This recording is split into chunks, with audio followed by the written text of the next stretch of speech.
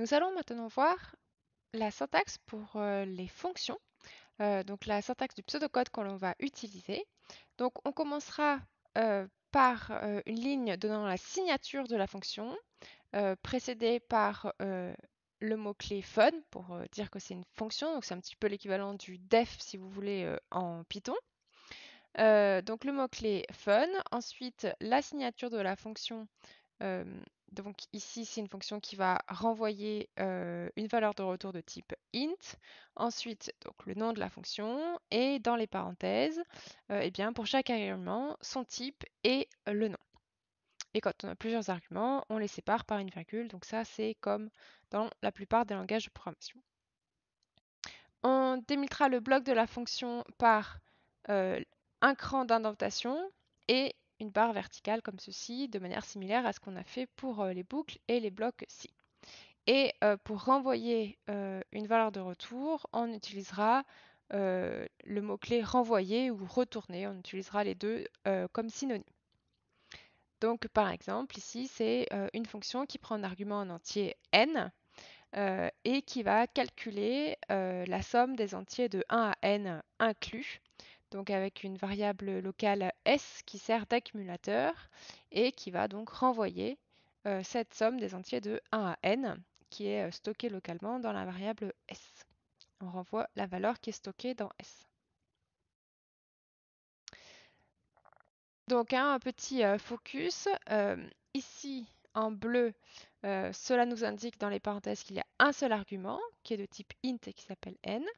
Le nom de notre fonction, on retrouve ici, c'est somme. Et la valeur de retour, eh on voit son type ici, dans la signature de la fonction. Et il faut que ce soit cohérent avec ce qui est renvoyé ici, avec l'instruction renvoyer ou retourner. Dans le cas où la fonction ne renvoie rien, en fait une fonction qui renvoie rien, on appelle ça également une procédure. Et donc dans ce cas-là, euh, au lieu d'écrire euh, fun et puis donc bah, euh, pas de valeur de retour, euh, on utilisera plutôt le mot-clé euh, proc, qui est le début de procédure. Euh, éventuellement, si vous préférez, vous pouvez utiliser fun void, donc ça c'est inspiré du C, pour dire que c'est une fonction bah, dont la valeur de retour est de type void, si vous voulez, il n'y a pas de valeur de retour. mais dans la suite, moi j'utiliserai plutôt cette terminologie, donc proc, pour dire que c'est le début de la signature d'une fonction qui ne renvoie rien. Donc là, c'est une fonction qui s'appelle affiche, qui prend un argument en entier n et qui ne renvoie rien, mais qui a des effets de bord qui sont des affichages, puisque euh, c'est une fonction qui va afficher tous les entiers de 1 à n inclus.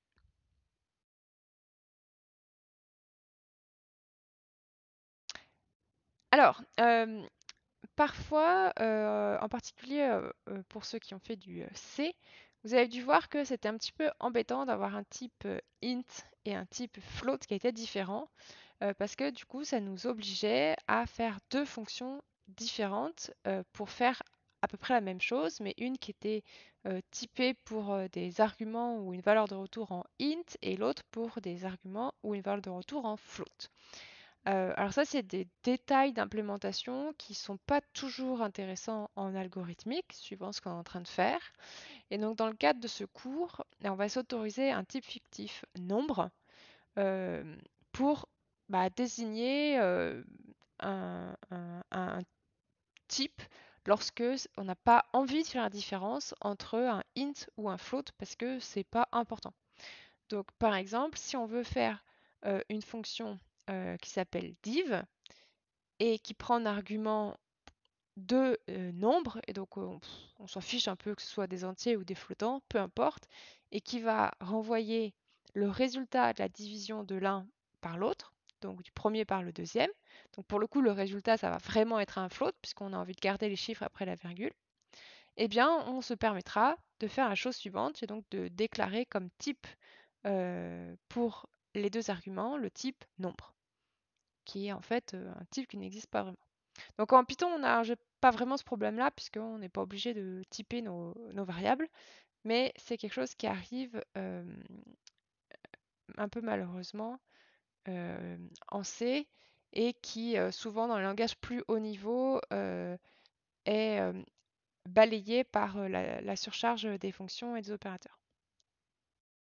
D'autres exemples de fonctions pour continuer à se familiariser avec la syntaxe des, des fonctions en pseudocode.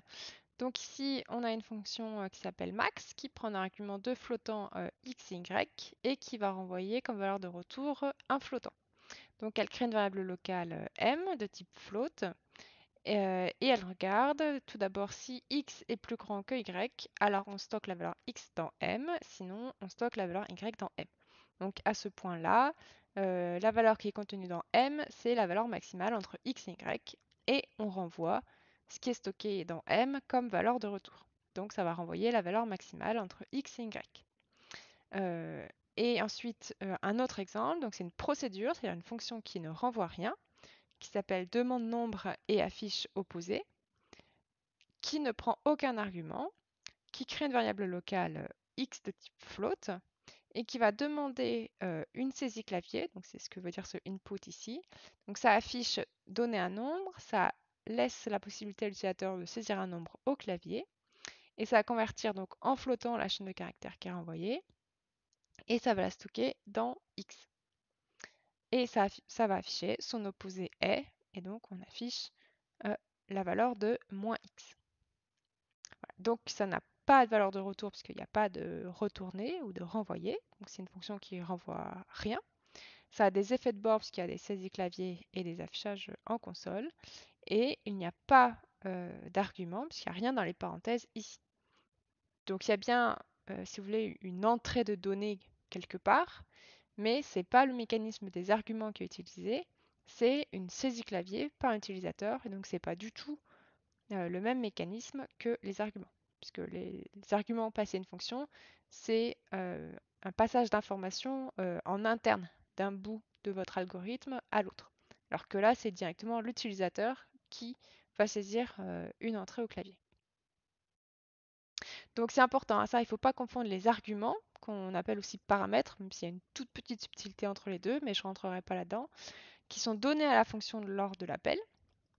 La valeur de retour, donc c'est ce qui est renvoyé par votre fonction, et les effets de bord. Donc ce qu'on vous connaissez comme effet de bord, c'est l'affichage en console, l'entrée clavier en console et les opérations de modification de la mémoire. Donc modification d'une case d'un tableau, modification du contenu d'une liste euh, en Python, euh, ce genre de choses. Également important à se souvenir, lorsqu'une instruction renvoyée est exécutée dans une fonction, on sort de la fonction. On quitte immédiatement l'exécution de la fonction. Et s'il restait des choses à exécuter dans la fonction, eh ben, on ne les fera pas. D'accord? Donc ça, c'est très important. Euh, euh, donc parfois, on en tire profit de la manière dont on écrit nos fonctions. Euh, mais parfois, involontairement, eh bien, vous vous coupez la fin d'exécution d'une fonction. Alors ça, on a vu comment on écrivait nos, fonctions et comment est-ce qu'on fait un appel de fonction. Bah ça, on reste sur la syntaxe tout à fait standard euh, du C et du Python. pour récupérer la valeur de retour d'une fonction, eh bien, tout simplement, on fait un appel. Hein. donc un appel, ça se fait avec le nom de la fonction, une paire de parenthèses et euh, dans les parenthèses, eh ben, on va passer euh, les euh, arguments que l'on veut donner à notre fonction, que l'on doit donner à notre fonction en fonction du nombre de paramètres qu'elle attend. Donc typiquement, quand on a une fonction qui renvoie quelque chose, eh bien souvent on veut stocker cette valeur de retour dans une variable. Donc souvent on met cette ligne-là sur, sur, une ligne d'affectation. Donc par exemple là, je fais un appel à la fonction somme sur l'argument 5, c'est cette partie-là, somme de 5. Donc ça va me renvoyer quelque chose. Et ce quelque chose, eh bien, je vais le stocker dans la variable s puisque je suis en train de faire une affectation. Donc s va valoir 15 euh, si je me souviens bien de la manière dont j'ai défini la fonction somme sur les slides précédents. Par contre, si la fonction n'a pas de valeur de retour, alors l'appel de la fonction ne doit pas faire partie d'une affectation. Donc par exemple, si je fais un print, print c'est une fonction qui n'a pas de valeur de retour. Donc euh, on les fait en général les appels de print tout seul sur une ligne. Print, affichage des nombres de 1 à 5. Et ma fonction euh, euh, affiche qui provoque des affichages en console seulement, qui étaient définis dans les slides précédents, et ben c'est pareil, je vais faire euh, affiche de 7. Alors attention, si vous avez l'habitude de faire du, Python, quand vous faites un appel à une fonction qui ne renvoie rien en Python, en fait une fonction en Python, elle renvoie toujours non, même si selon vous, elle renvoie rien. Donc si vous, vous faites cet appel-là sur une ligne d'affectation, eh ben, ça ne va pas provoquer une erreur. Parce que du coup, vous avez quand même votre non qui va pouvoir être mis dans votre affectation. par contre, dans d'autres langages de programmation, une fonction qui renvoie rien, c'est vraiment une fonction qui renvoie rien. Et donc, si vous voulez stocker cette valeur de retour qui n'existe pas dans une affectation, eh bien, ça va provoquer une erreur. Alors, des concepts algorithmiques qui sont importants par rapport aux fonctions et qui sont communs à la plupart des langages de programmation, même s'ils ne sont pas tous identiques dans tous les langages, c'est la notion de portée ou de visibilité des variables. C'est-à-dire que les variables ne sont pas toutes accessibles depuis n'importe quel endroit de votre programme. Donc la, portée ou la visibilité d'une variable, ça désigne l'ensemble des endroits où la variable est accessible. Donc ça, ça existe dans n'importe quel langage de programmation. Euh, mais par contre, certains langages de programmation définissent la portée d'une variable d'une certaine manière et d'autres langages euh, eh bien, définissent la portée d'une variable d'une autre manière. Il y a des grandes lignes directrices qui sont communes, mais dans les détails, parfois, ça change un petit peu. Euh, donc pour nous, on dira qu'une fonction ne peut lire et écrire que dans ses variables locales. Et qu'est-ce qu'on considérera comme une variable locale Eh bien, les arguments de la fonction et les variables qui sont déclarées à l'intérieur de la fonction. Et c'est tout. Et la même règle s'applique au programme principal, c'est-à-dire que le programme principal euh, ne peut accéder qu'aux variables qui sont déclarées dans le programme principal. Et c'est tout. Alors, on va voir sur un petit exemple avec des dessins une application du principe que j'ai écrit avant. Alors, la fonction en elle-même, hein, la fonction suivante qui est sur ce slide, elle n'est pas utile mais c'est seulement pour vous expliquer le concept de portée des variables. Donc j'ai une fonction qui s'appelle suivant, qui est ici, qui prend en argument une variable a, oui, qui est de type entier, et j'ai un programme principal ici. Alors on va l'exécuter pas à pas. Donc on commence toujours par la première ligne de notre programme principal. Donc, on va déclarer deux variables n et m. Donc là, ces variables n et m, elles commencent à exister, donc elles sont type entier. Et on va bien délimiter par des boîtes où est-ce qu'elles existent. Donc ça, ce sont des variables du programme principal. Donc elles existent quand on est en train d'exécuter des lignes du programme principal. Ensuite, je vais exécuter la ligne suivante, qui est donc la deuxième ligne du programme principal je dois faire une affectation de la valeur 4 dans n. Donc comme je suis en train d'exécuter une ligne de programme principal, j'ai accès à tout ce qui est ici, là, dans la boîte du programme principal, j'ai bien mon n, donc pas de problème. Je stocke la valeur 4. Ensuite, je vais pour exécuter cette ligne. Cette ligne, c'est une ligne d'affectation, donc il faut que je calcule le résultat de ce qui est à droite de l'affectation. Il se trouve que ça, c'est un appel à la fonction suivant. Donc, ça va me lancer une exécution de la fonction suivant. Donc on met en pause notre programme principal le temps d'aller exécuter notre fonction suivant et de revenir avec le résultat. Donc là, euh, on se prépare à l'exécution de la fonction suivant. Pour ça, eh bien, il faut qu'on crée euh, une variable a pour l'exécution de la fonction suivante. Donc on crée une autre boîte qui va contenir les variables locales de la fonction suivante. Donc on y met le A qui va recueillir la valeur de l'argument qui a été passé lors de l'appel. Et donc on doit recopier la valeur qui était dans le n ici lors de l'appel, c'est-à-dire le 4. Donc le 4 qui a été dans le n, on le recopie dans le A, ici. Et donc maintenant, on va exécuter euh, les lignes de la fonction suivante. Donc je vais exécuter ça, A++, c'est-à-dire incrémenter A d'une unité. Donc là, j'ai accès que à ce qui existe ici. Donc j'ai bien A qui existe, donc ça va. Hop, il passe à 5. Et ensuite, je vais exécuter ça, renvoyer A. Donc je vais renvoyer la valeur qui est dans A, c'est-à-dire 5.